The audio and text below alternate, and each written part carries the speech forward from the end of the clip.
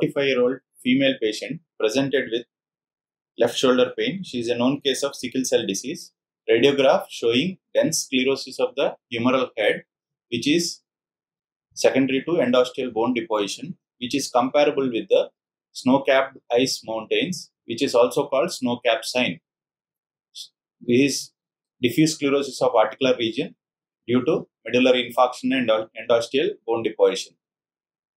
In MRI, there is a comparable sign called double line sign, which is which is seen in case of bone infarctions and also in case of avascular necrosis of humeral head or head of the femur.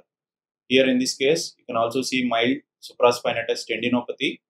You can see a metaphyseal bone infarct and uh, the hyperintense line is nothing but a granulation tissue and the central hypointense area is dense sclerosis of the bone.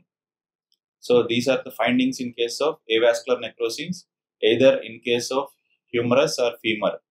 Sagittal reconstruction, sagittal acquired images also showing the geographic line which is hyperintense, a granulation tissue line and also infarct. So in summary, double line sign in MRI, snow cap sign on radiograph. These are seen in case of bone infarcts and also in avascular necrosis, especially in patients with sickle cell disease. Thank you very much.